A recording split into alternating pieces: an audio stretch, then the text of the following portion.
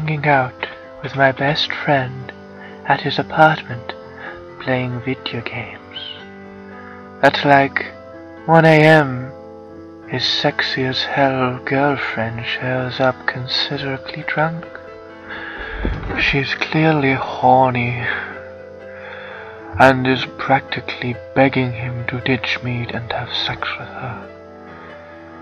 He mostly just ignores her. She then starts hitting on me to make him jealous. He doesn't give a shit.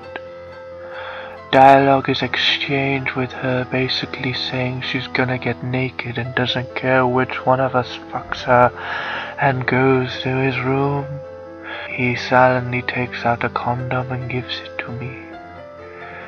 Basically pushes me into his room despite me being confused as fuck. And when I protest, he says not to worry about him because he can just play single player for a while. While he waits, I walk in. She is laying there and is a bit disappointed, but still eager. Awkward sex ensues.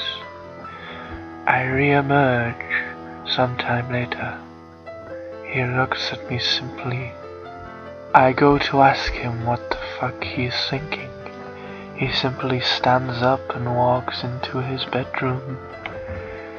He walks up to her and says, You've been cheating on me with the guy from her class, haven't you? Don't lie.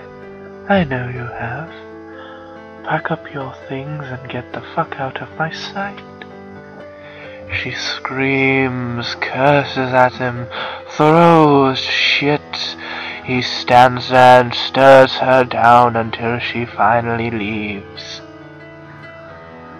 I look at him in utter awe. He looks back at me, and before I can say anything, he says, I was gonna break up with her anyway. And I needed you to get laid.